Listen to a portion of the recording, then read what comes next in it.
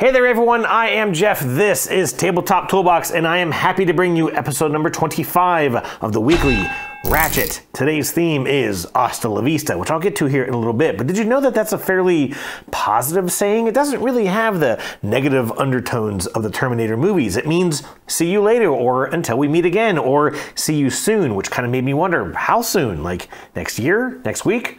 Maybe after this musical break?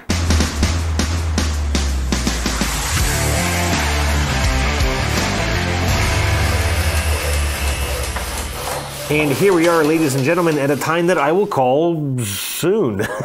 hey there, folks, and welcome to the Weekly Ratchet. Thanks for tuning in. I'm glad to see you as always. Uh, you know, a couple things to cover here in the episode. It's been a fairly straightforward week, a lot of filming over the weekend. I did finish up a preview video for Final Nine, the disc golf game that will go up uh, tomorrow, I believe, or at least by Wednesday when the campaign goes active. So please do check that one out. Had a little bit of fun working on that one with my daughter, doing a little disc golfing here in our backyard. Uh, other than that, not a lot of stuff here at the top of the episode. I only got one game recently, so I'll go ahead and mention that now. This is Win, another one of these small Pack O games from Chris Handy, and I've usually kind of mentioned these fairly quickly, but this this one's been getting a fair amount of attention out on the social media groups and such on the board gaming, uh, you know, pages and whatnot, and I think it's because this is kind of the ongoing shrinking of the Ready Set Bet game, a very popular, very animated, very high energy sort of a social party game that then got shrunk down into a long shot roll and write game and is now represented in this tiny little card game with the title of Win, a horse betting game. Uh, and it, it, has a decent footprint. I got to play this here already, so I'll talk about it here in a little bit. But other than that, let's go ahead and start off with question of the week.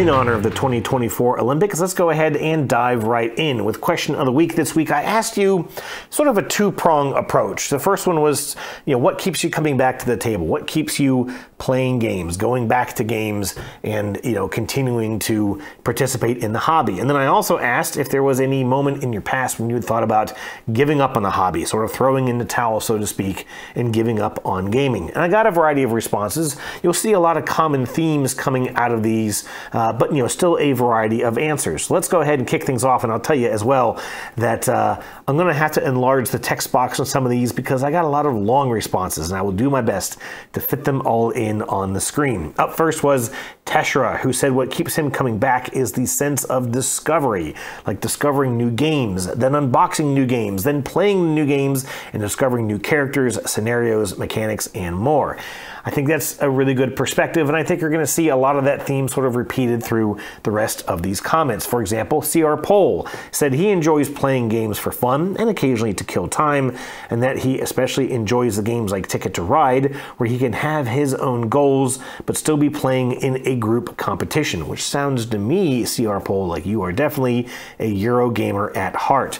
Uh, curious to see what other Euro games you like to play. Omar Hernandez said it's all about the variety of options, experiences, and again, discoveries. He can play in space, go farming, survive a desert island, and more, and that he loves the wealth of options. I think that's a really good uh, point there, Omar. Again, with the discoveries and, and, having lots of options available, it's it's sort of amusing when you get done with a game day and you think about just all the different things that you did in that day. Again, you know, farming and playing in space and conquering civilizations and running a dinosaur park or whatever else. I can certainly agree with that one. Jeremy Brooks said that he's considered dropping out of the hobby at times when he struggled to find other players. But then he lands a good game night and it brings him right back, saying that you can't beat the experience of people across the table from each other off their phones interacting together. I can certainly agree with that, Jeremy. Uh, and you know that's one thing that we saw a bit even in the uh, either the previous episode or the one before, talking about uh, you know what you could what you would change about your hobby, your interaction with the hobby if you could. A lot of folks said they wish they could find more gamers, and I tell you, I wish I had some answers for that. That's something I'm kind of working through right now. Kay said that what keeps her coming back are the memories with her son and the challenge of figuring out new games, but also shared an experience that almost ended her gaming hobby when she became the target of ridicule on a Board Game Geek post. Kay, I'm so sorry that you had to experience that. I think a lot of us have probably experienced that as well. I even remember C.R. Pohl talking about some board game snobs and how they kind of uh, you know, changed his impression for a little while of gaming. I, have done a lot of different hobbies from, you know, the sort of car collecting to brewing beer to disc golf. And in all of those hobbies, there are always those people who just want to find ways to sort of ruin the hobby for everyone else. They feel that they are elitist, they feel that they are the cream of the crop, and they just like to ruin the fun for everyone else. And I'd like to say, especially from my perspective and everyone else out there, those people. I can't stand them, and I wish they would go away. Rentless said that he wanted to make a smart, complicated answer, but he just loves sitting at a table with good people playing games. And I would love to make a smart, sophisticated response but you pretty much nailed it. Penny5636 said they love discovering new mechanisms and themes, love unboxing new games, but most of all, loves engaging their minds while spending time with family and friends. You know, and again, that's that's uh, some of some of the themes that we've already seen is just getting to you know be with other people. But that's another theme that came out in some of these comments was the the sort of brain itch, the brain scratch, however you want to call it, just the that sort of fun of diving into these mental puzzles of these games and getting that good crunchy thinky feeling in your head. I can certainly agree with that. Juan Pablo Pagan said that they struggle with making and keeping friends, and so gaming has been a way to socialize more as it's easier to break the ice over games and relieve some anxiety when it comes to meeting new people. They also said that they really enjoy the tactile experience of board games over video games, and that's that's a really good point too. And that was something that kind of uh, I sort of skirted over last week talking about playing games online. That that's you know something that you're able to do more than playing games in person. It still counts as gaming, but there is definitely that missed tactile experience, and I have certainly experienced that myself. Mary Beth Boyd said that she is so fortunate that her and her spouse Ben share the same love of gaming, and they can share so much more together over a tabled game than they can when watching TV. I completely agree with that. I can certainly say that I have had a lot more fun, even in just the past year or so, when my wife and I sit and play a game, maybe even with the TV on in the background. I love to watch some Big Bang Theory, just kind of have that noise going. Uh, but I enjoy that so much more than when we're sitting there listening to the TV more often just kind of staring at our phones. So I can certainly side with you on that one. Board Game Vibes said that they too considered quitting the hobby when they struggled to find other gamers, as they mentioned in a post last week, but that the excitement of new themes and adapting to new games, and they love how much variety there is to enjoy with different themes that uh, keeps them coming back out to the hobby. It is definitely difficult to resist a new exciting theme. And I think it's been really neat in past years to see some new themes coming to light. You know, we've had games about trimming a bonsai tree, uh, you know, games about disc golf, that kind of stuff that seems new and seems inviting and just uh, fresh ideas that have certainly been pretty neat to check out. Jamie Wiley said that he loves the process of learning new games, that the moment he gets a game, it's like a dopamine rush. I have experienced that myself too. For me, it's it's a little bit of when I get a game, but it's also when I'm playing a game for the first time and I think I'm doing pretty well, and I realize as I'm starting to kind of look around and look at what's going on, and I think I might actually be winning this one. I might actually have a shot of this. I remember playing uh, the the follow up to Scythe um, Expeditions at the Dice Tower Retreat last year. It was a really really long game. It was really dragging out forever. Uh, but I was kind of looking around. I started to realize I, I, think I'm actually winning this one. I think I got a lot of points here in front of me, and I did win it. And I was literally getting like a little, a little anxious. I was kind of shaking a little bit because it was a drawn out experience. I was kind of getting flustered at how long the game was taking, but then having that excitement to think that it might sort of pay off in the end, and it was giving me that that you know adrenaline rush, which was really kind of interesting. It was a very thrilling sensation, so I can I can see that. Andrew Gelling shared a few responses that we've seen already, such as community and personal interaction with other folks, but he also mentioned the enjoyment of the mental challenge of learning new things, opening and creating new brain pathways. So, like I said, another common theme that uh, was in some of these comments was yeah, getting to play with folks, but also just that sort of wrapping your head around that mental puzzle. You know, so much of what we do every day is sort of tedious and monotonous where you know we have a lot of routines. And so when you can break up those routines and sink yourself into a challenge a puzzle something that you don't normally do i can certainly see that as a positive experience Mark B said that he's considered giving up on gaming as well, with so many unplayed games in his possession and not enough folks to game with, saying that it can be a lonely hobby at times. He said that it's the positive experiences, the memorable game nights, the puzzly buzz he gets from those experiences and those games, the escapism, and the belly laughs from a good game night that keep him coming back. There have been some great comments here, and I basically agree with all of these. I, I, think that that table talk and having other folks there is a lot of fun. I, I do like to meet new people. That, of course, can be a little anxiety-inducing for sure. I certainly love sitting and playing with, you know, well-established friends and, of course, family. I, I've had a lot of fun gaming with my sister and, of course, my wife over the past several years. I do think for me it's a little bit more about that mental challenge. I do love sitting down to a new game, whether it's a game that I've got or something that someone is introducing me to. I like that idea of trying to right away figure out what my first couple of moves are going to be. What is that first step that I should take? What should I start focusing on right away? What's going to maybe either set me ahead or at least keep me in the running of this game that I'm not familiar with? It's my first time playing and I want to do well. Uh, I also love that mental scratch, you know, that, that, that puzzle of a new game. I love what gaming has enabled me to do as an adult, for lack of a better phrase, I have certainly felt over the past couple of years that I've gotten better at organizing myself. I've gotten better at speaking in public. I've gotten better at you know teaching folks new ideas whether it's you know sort of teaching somebody what i do or trying to convince someone to see my point of view on something i feel like to some extent gaming has helped me out with that whether it's teaching someone a new game uh, maybe trying to help someone with a strategy not that i'm a pro at that by any means but you know, that idea of communicating with folks uh, in one aspect or another, I think has improved for me because of gaming.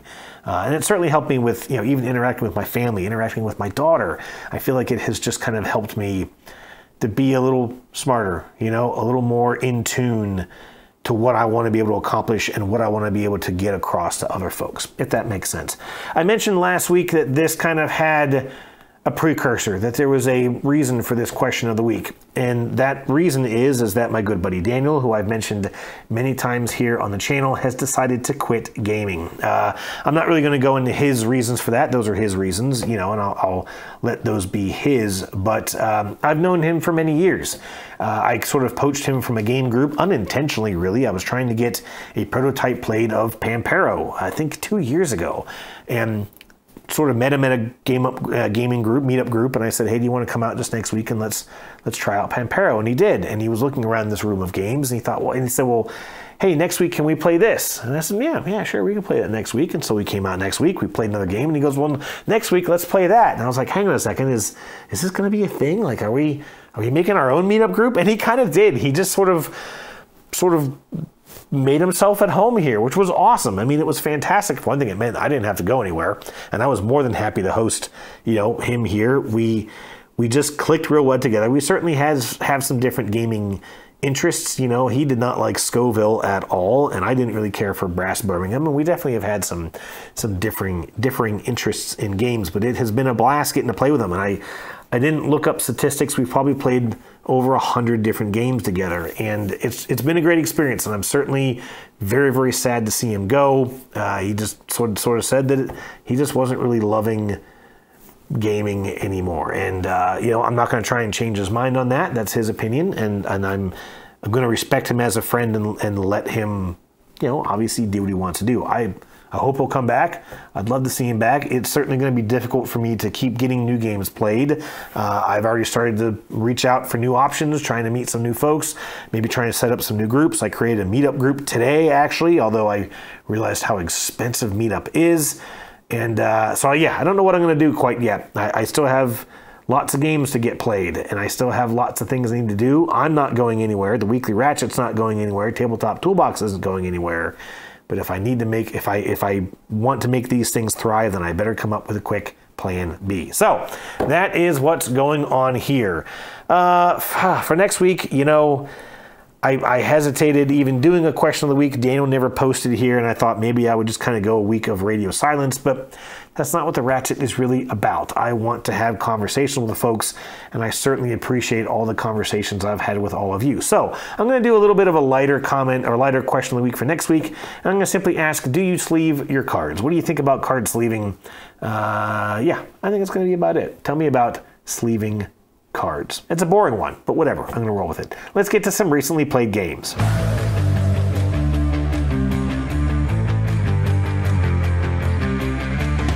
Okay, well, hopefully I can kind of lighten the mood here just a little bit because that was definitely a you know a little smidge of a downer for me to get through. But uh, again, I appreciate all of you being here. I appreciate all your just interaction and feedback. Let me go ahead and chat about some recently played games. And I'm excited for this new one. And I'm going to actually, I'm going to holler out, Kay, Kay, are you watching? Because I think you might be interested in this one. This game is called Nebula. I have no idea who it's by. Christian Bustos and Bernardo Vasquez. I probably butchered those, and I apologize. This is from a Spanish, I believe. Uh, the, the company is Fractal Juegos. I hope I'm saying that right. Anyways, let me get to it. I got this from the Dice Tower last year at the Dice Tower retreat when I was down at the studios, and uh, Tom just kind of like, yeah, pick a couple games. Here, do you want this? Do you want this? Do you want this? And of course, it's a space game, and uh, so I jumped on it. This is very similar to games like Cascadia, yeah, not even Cascadia, a little bit more like Calico. It has a lot of Azul sort of inspiration in it, and it also reminds me a bit of the new Harmonies game. But it is still very different from all of those. Uh, it's one of those kind of pattern building, pattern filling in kind of games. You're taking these plastic stars from this bag, they go out onto a board on your turn. You're sort of moving around these like hourglass time figurines to then claim some of these stars. They go into a sort of a personal supply, and then you can play anywhere from two to three of those stars onto your personal constellation board. Your board has four different constellations represented on it, and the constellations have direct links between those stars. There are also indirect links to other constellations, and then there are orbit lines that sort of connect all of these together. And you're, as you're taking these stars, you're putting them on your board. Your first one has to start in the center, and then you can put stars onto any other space that is connected from a direct link, an indirect link, or an orbital link to another location. So you're, you're starting the center and you're sort of branching out in these other constellations.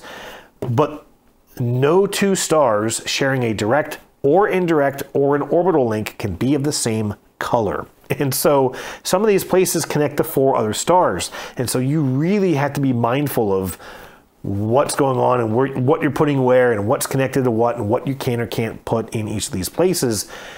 And that's just the placement puzzle. There are then four cards that players are sort of racing to achieve, four goals out on the main board that you're trying to meet. The first player who gets it done gets the most points, and then everyone else gets sort of a second level, a second tier of score for each of those cards.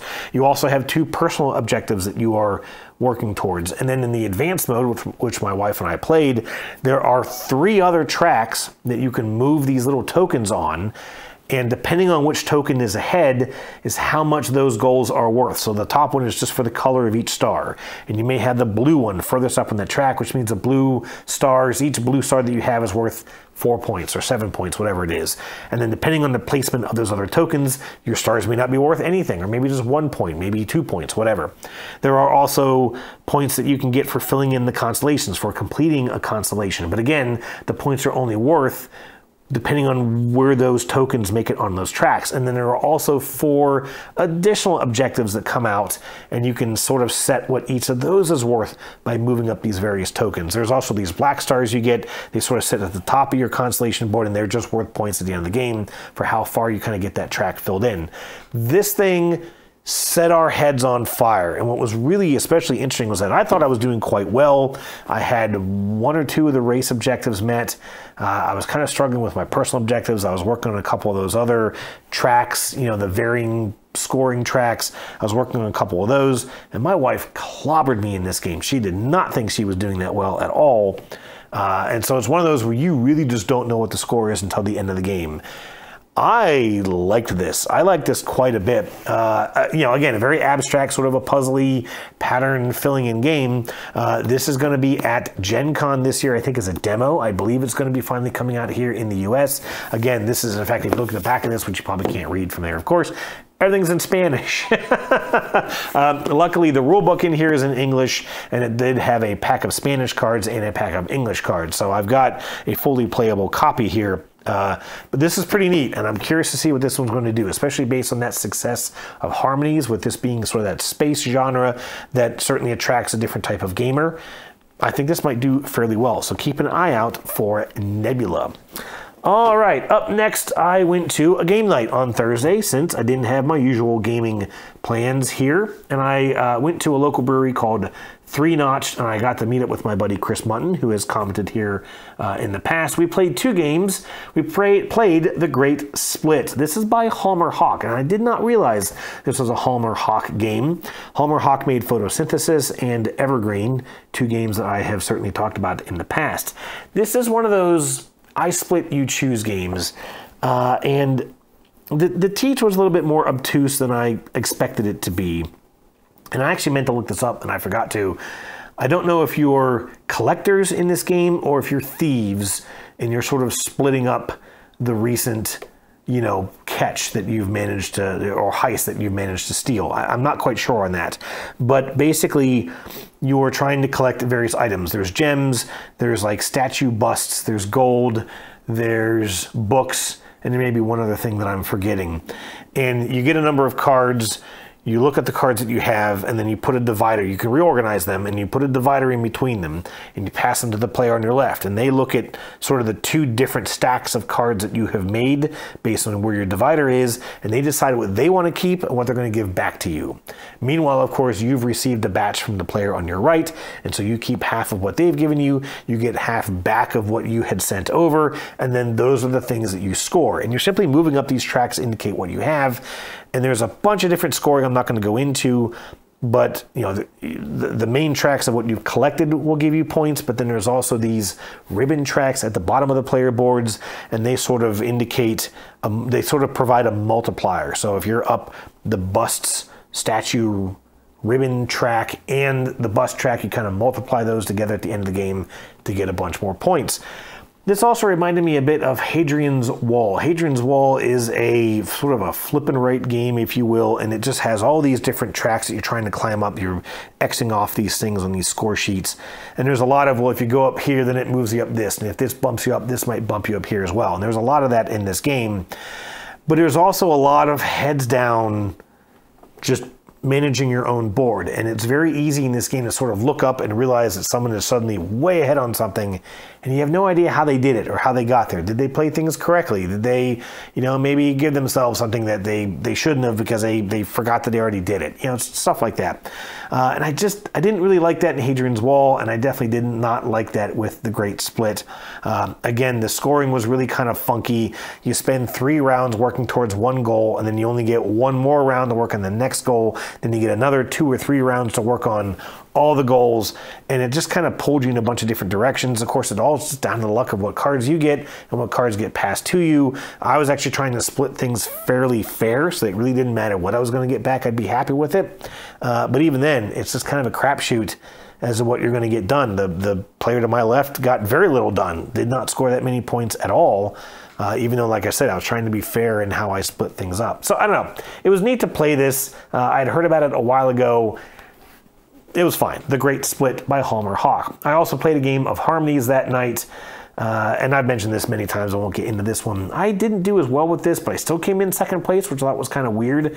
Uh, a couple of folks that we played with were fairly experienced.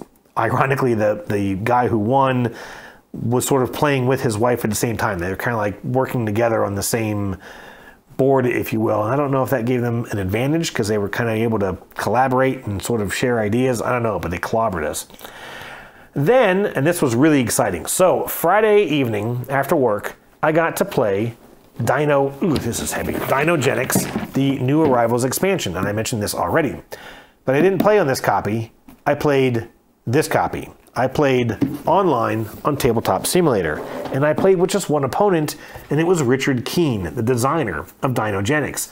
This was a just fantastic experience. So it, with my Ratchet episode of last week, which he actually mentioned that he had seen, and I had also sent him an email just kind of recapping my play of it. Uh, and I mentioned in last week's episode that I felt like the game started to bloat the dinosaur deck. I felt like there was just kind of too many dinosaurs, and when I would try to, you know, draw more cards to get a dinosaur made, I still couldn't get anything done. Uh, and so he offered to play the game with me online on Tabletop Simulator, and just kind of, as he said, kind of help sell me on some of the new concepts of the game, which I didn't really need. I really like some of the new stuff that's in the game. It's really just that dinosaur deck and the fact that I feel like there is so much stuff in there now, that you can't really get stuff done. Uh, so, anyways, we played it together, and I actually asked to kind of keep it at two because that's how I normally play it at. And the game is a little tighter at two. A lot of your worker placement spots get blocked out. I had a great game with this. It was a really neat experience. Really, really enjoyed this. I did play it very differently. I did kind of try to work more with what I had and not necessarily work too hard to try and find the dinosaur that I wanted to get played. Uh, there were a couple times he's like, Yeah, you could really use an Ankylosaur right now. And I said, Yeah, that'd be great. I've never seen an Ankylosaur card in this entire playthrough. But uh, you know, again, I tried to do some things differently from how I normally play. He beat me, as very well he should have, but I was fairly close behind. I think maybe six points or so. And uh, it was a really, like I said, a really, really neat experience. I really enjoyed getting to play with him. Richard is definitely, I don't know if this is normal for his nature, but obviously he knows the game very well. Clearly, he knows the systems of the game.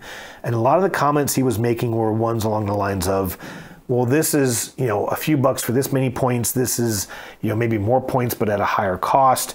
And he was sort of, you know, relying on those ratios, like what really is your your cost to income kind of ratio. And I'm, I'll admit, I'm not very good at that. I can certainly say, you know, well, if I go here and take this action, I'll get two points. If I go here and I take this action, I'll get four points. That's the better option. But when it comes to weighing costs versus rewards, I'm not as good at that. I'll go here and spend $8 to get four points when I could go here and only spend $2 to get three points. It's less points, but it's less cost to me. And maybe if that money is worth something later, that might make it worth that one point difference. And I'm just, I'm not as strong at that. And there were a couple times even that I said, well, you know what, I'm going to go ahead and go with my gut reaction. I'm probably wrong, and that's okay. I want to play with this system. I want to check out this aspect. Uh, had a great time playing this, and thanks again to Richard if he sees this for giving me that opportunity. Still, absolutely love this game, and with the final nine review finish, which I'm actually going to mention that one here in just a second, uh, I will be focusing on the preview video for Dinogenics. Really excited to do that one. Next game I played was Final Nine, Upside Down. Uh, I've mentioned this one also, I think, last week, uh, and I just finished up a preview video here in the channel, as I've already mentioned. My wife and I did want to try the Ace Run, which is kind of a speed run version of this game. You use a lot of the base game components, but you do use some cards from some of the uh, from the new expansion. And the idea is that you only throw one shot per hole, and you're just trying to get an ace, trying to get a hole in one. Uh, and it was pretty neat. Unfortunately, you still run into the situation where you have a handful of discs that just don't do you any good. They're too short of a range. Uh, and at that point, it's very hard to trade because maybe my wife only has one driver and she doesn't want to get rid of it, which I certainly understand. Uh, but it, it, was difficult. I mean, I finished with I think three points. I only got three holes in one in nine holes. 33%, not that bad. My wife got one, and it does use an element where when you actually hit the chains, you have to draw a card to see if it actually catches, if it stays in the basket. And I got skunked on one of those. She got skunked on at least two of them. So it could have been four to three, maybe. Um, but uh, you know, just the, the luck of the draw kind of kind of knocked it down. So we we didn't really enjoy that as much as we were hoping to. It was a quicker experience, which was nice, but I think I still kind of prefer just the base game of Final 9. Then we played Win. Uh, as I already mentioned, this is, I think, of all these Chris Handy games, it probably has the largest footprint, uh, being even a little bit larger, I think, in overall play space than the game of Bus uh, from, from Chris Handy as well. Uh, and this one was kind of neat because you have to actually build a racetrack. You are tracking your money along the top of this track. And then you also have a bookie that you're sort of keeping track of two main bids that you can manage. You've got, you know, obviously money you got to manage. You've got actions that you can take. These action cards kind of come out and you can use them to either get money or manipulate the horse a little bit or place a bid. Like there's a lot of stuff going on. The rules were a little difficult to sort through, but I think we figured it out. And uh, I basically pushed really hard for the number six horse, which has really high payout ratios. And that horse came in second place, and I got a ton of money off of it. So that was kind of cool. It was neat to play this. We played at the local Center of the Universe Brewing Company. Uh, still was able to play it easily on the bar top and had a good game of Win. The next two games I don't have, but I got invited to a, uh, a, game day yesterday, Sunday, here in town. A good friend of mine, Mike Gallo, who I've been playing with for a little while, he had a couple games that he was deciding whether or not he wanted to keep, and so he wanted to play them and sort of, you know, refresh himself on whether or not he wanted to keep these games. The first one was Alien Frontiers, and uh, I'm going to bring this here so I have it in front of me. I had seen this before in a game store, and I didn't buy it, but I couldn't remember why. When I sat and watched the video from Board Game Geek on how to play it, I remembered why. This ha- this is an area control game. You're trying to control, I don't even know what planet, I think it's Mars. And you're trying to, you know, control these different regions. You're using dice as workers. You're rolling them at the start of every turn, and then based on the values, you kind of maybe do different stuff. That is one of my least favorite mechanisms in games because there was some mitigation options, but they didn't really flesh out until much later in the game, and even then, I only ended up with two of them. I could adjust my dice values down, or I could flip a die. That was it. My buddy Mike could send values up, or maybe up and down, I don't remember. And the guy next to me had all kinds of stuff he was able to do. Uh, and then it also has, what was the other aspect that I didn't like? I don't. Oh, it's just a lot of take that. So there's a lot of stealing stuff in this game. There's a lot of obviously bumping people out of an area majority, but then also there is a simple space where you can go and steal things, just simply take things from other players.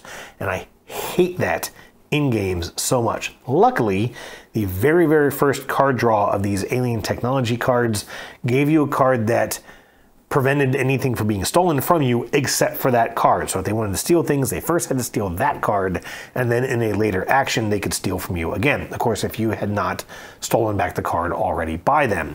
I took that card legitimately, I took it from the market, didn't steal it, and a couple times players tried to steal from me, forgetting that I had the card, but the the the benefit of stealing resources was much greater than just taking a single card and so no one ever bothered to take that card from me and so i was kind of protected for the rest of the game uh, what was kind of what what made this work besides having that card was that I, I, did get a lot of stuff going. I was able to generate a lot of points.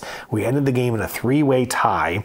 The first tiebreaker was whoever had the most agenda cards completed, which I tied with my buddy Mike for three. The then second level of uh, tiebreaker was the most technology cards, which I shockingly had. And so I actually won this game. Was not expecting that to happen at all. The player to my right was being very, very aggressive. Taking people out of area majorities, trying to steal stuff. Like I said, kept trying to take stuff from me, kept forgetting that he couldn't. Was irking off a couple players around the table to the point that we all kind of went after him towards the end of the game, knocking him back out of a bunch of area majority, which uh, cost you points. And so he actually finished the game in the last place, which I thought was kind of interesting. Uh, I tried to just kind of play very even keel, just working on my own stuff, and ended up with the victory. Glad I got to try this. Not a game I'm going to jump back on anytime soon. The last game we played was Sentinels of the Multiverse. This is a cooperative game, a superhero ripoff game. All right, so I played a female version of Batman, uh, very equipment focused, like Batman. Uh, a lot of very generic comic book art, which is okay. Uh, it's an older game, older than Marvel Champions. And the one player was mentioning that he felt like Marvel Champions ripped off a lot of ideas from this game, which might be true, but Champions is still a way better game. Uh, I was really excited at first. I had a card that I was able to play that let me go through my deck and just pull out any piece of equipment and put it into play, which was great. Uh, except for on the very next turn, all my equipment got destroyed. So I lost everything I had, which sucked. Uh, and then I got another card, let me basically do that again. I was like, oh, good. Well, now let me see what all the equipment I have. So I really went through and I started pulling out all the equipment, and I really only had like three good ones and three kind of real basic ones. Uh, it's also a game where on your turn you can trigger one power and play one card. And now the player to my right upgraded to the point that he could play three cards. I upgraded to the point that I could trigger two powers and only play one card. And the gentleman across me, I can't remember what all he was able to do, but as soon as I got that second power, I was like, "Oh, here we go! I'm gonna start building this, building this engine. I'm gonna, you know, trigger off a bunch of stuff." And then, like six, seven, eight turns later, nothing else new had really come out for me. I was a little more defensive. I could do a little bit more damage on my turn, but that was it. I could still only trigger two powers and only play one card. And I nothing else in my deck really gave me any more of a special ability. I kept getting more powers, but I could only trigger two of them, and it was you know the the, the ones that made the most sense was was dealing damage to the the villain, and that was it. So I, I don't know. I uh, I was glad to try it. I had certainly heard a lot about it. I mean, this game dates back to I think 2017, if not older than that. But I just kind of felt like the build up in the game happens very, very quickly, and then never really gets any bigger than that, except for maybe other characters. I'm not really sure. But that was Sentinels of the Multiverse and that is the Weekly Ratchet. Thank you so much again for tuning in, folks. Hopefully, a fairly quick episode here today. I do have some editing to do because I goofed up a couple of these, these clips, but I'm going to roll with it. So, thanks for tuning in, and I will see you again next week. Cheers.